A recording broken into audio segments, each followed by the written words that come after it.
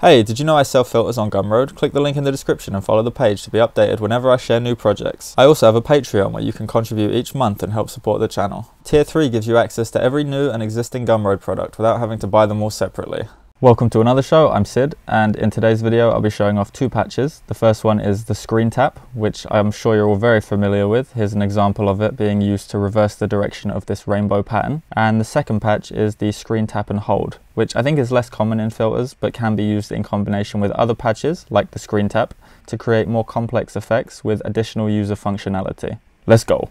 Okay, so first thing, as always, switch over to 2D view, open up the patch editor, give yourself a little bit more space, and we're good to go. Okay, so the first thing I'm gonna do is add a face tracker to our scene right click that and I'm to add a plane. Now you could also add a face mesh or a canvas with a rectangle in it, anything you like really, it doesn't matter too much, but I'm going to be using a plane just for the example here. I'm going to pause it and I'm going to drag it up here just to the forehead so that we can see our person underneath. Next I'm going to add a material and I'm going to rename it to plane and I'm going to change the shader type from standard to flat. Now we can unpause and just let that do its thing in the background while we grab a patch to make this look nice. So hit the library here under patch assets. You can scroll through and add anything you like at this point, but I'm going to type in rainbow, which is one of the new patches that's been added, and I'm going to be using the rainbow o patch. So import that or anything you like into your assets panel and drag it inside of the patch editor. Now we're going to connect up our plane material. So create a patch from this texture, connect from the output of our rainbow Automatic patch or whatever patch you've chosen to use and connect it to the input of our plane. Now we're going to create a screen tap patch. So type that in. And if we drag from this gesture state output, you'll see we have two options here. One is for the animate and one is for the direction. I'm going to choose the direction right now and it will automatically create this switch which goes in between the two so you don't have to worry about that but you can add it manually. If you type switch then you'll be able to read about it and figure out what it actually does for yourself. It is what the name suggests. It just flips the switch and selects whether it's an on state or an off state for this boolean here. So these inputs here with the checkbox are configured as booleans which basically just checks whether a statement is true or false. So if we connect this up then by default the direction here is false which means that the direction of the rainbow is going from left to right. And then if we tap on the screen, you'll see it reverses the direction here. So the checkbox is on, the switch has been flipped, and you can see that actually happening. As these connections light up, I'll do it again, and you'll be able to see it go back the other way. So now that we've got that all set up, I'm going to duplicate the plane inside of our face tracker. You could add another plane, but it will appear by default at the center of the face, and we'd rather have it in the same position as the one we've already got. So I'm going to duplicate that. I'm going to rename the first one to rainbow, and name the second one earth, because that's the image I'll be using. So at this point, import any images that you want to use, or any patches that you might want to use, but consider the Boolean thing that I just explained. Uh, I'm going to be using this Earth image here because I think it's pretty cool. It's a very high quality image. So if we take that as a PNG and we drag that here into our assets panel, it can be a JPEG as well or any image format that is compatible with Spark. I'm going to be using this Earth one. Now we can select our Earth here, add a new material for it, rename that to be Earth. I'll rename the plane here to be Rainbow Plane and this can be Earth Plane. And now we can switch the shader type on that to flat and add the Earth as our texture. Now you'll see because it's a PNG, it has no background. So you can see both layers here, both planes at the same time. So what we need to do is create a screen tap and hold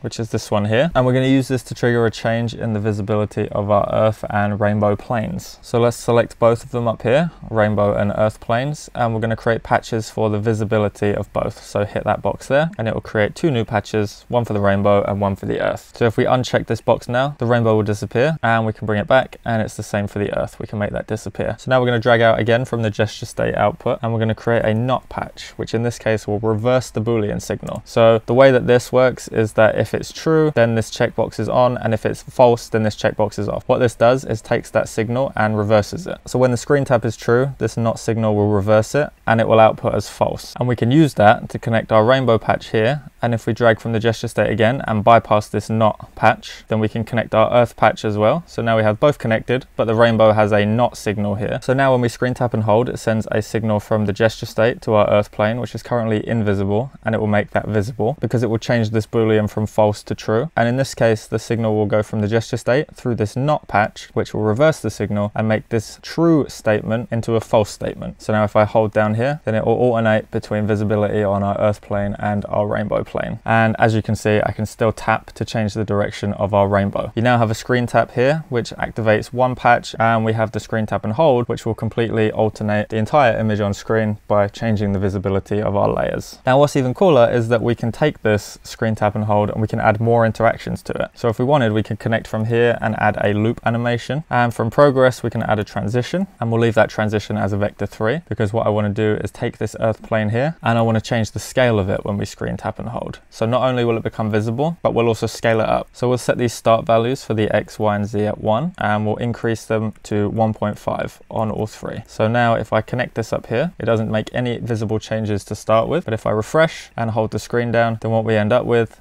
is this loop animation, which is combined with our visibility patches. So what you can see now is when I let go of the screen, it goes back to normal, the default, which is the rainbow plane. I can tap it and reverse the direction here using our screen tap patch, and I can tap and hold it which will not only alternate the visibility to our earth plane, but also scale it up to 1.5 times the size, which is pretty cool. We can change the duration here, make it a little bit slower. We can mirror it, let's say 2.5 and mirrored. So now if I hold it down, it will slowly increase the scale and then it will go back down again. And you can do this with a bunch of stuff. So I could add the rotation patch in here. I'm gonna need a separate transition. So we'll copy and paste that uh, and we'll set the values here at zero, zero, and 360 degrees to start. And then on the X, the Y, uh, we'll leave those at zero and we'll change this to zero as well. So now if we connect this up here and get this connected up to our loop animation, so now you can see this is what we've got set up. Coming into here, we've got two transitions, one for the scale and one for the rotation. Ah, it's duplicated. So there's a bug in Spark AR right now, which duplicates some of the objects in your scene. Don't worry about that. You can just delete it and it will go back to normal. I'm not sure what that is. If you do experience this bug, you can hit this button down here and you can type it in and describe the details of it and report it to Spark AR. It's been present for the past few versions and they haven't actually fixed it yet. So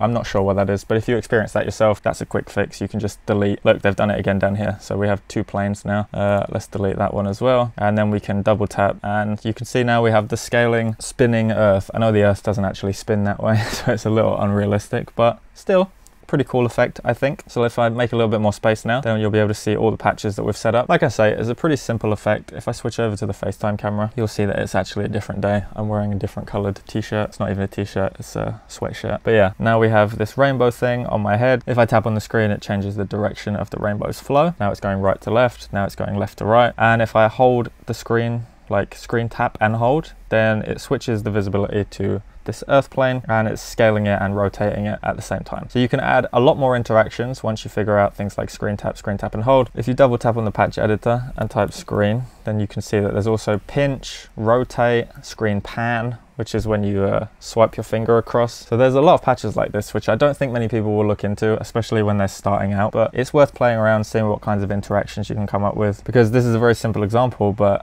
there's definitely a lot of cool stuff that can be done here. So have a play around, see what you can figure out. I hope this was useful for some of you, maybe not, maybe it's too basic, but feel free to let me know in the comments. I like going through each of these patches and just like trying to figure them out myself. I like to think of it as explaining it might help someone visualize it better, you know? That's, that's really the reason I make these videos. So I have a reference for myself to look back on as I continue learning, but also to hopefully help other people visualize and better understand the features of the software themselves so that they can go off and make cooler stuff than I could ever dream of, which has definitely happened over the past year for sure. People send me cool stuff all the time. So yeah, play around with it. This is the final result. Don't forget to like the video if you liked it, share it with someone who might be interested, subscribe to the channel for more videos like this, and check all the links in my description because I really appreciate it and your support means the world to me. So thank you very much for watching and I'll see you in the next one. Peace. Peace. Peace on earth, man.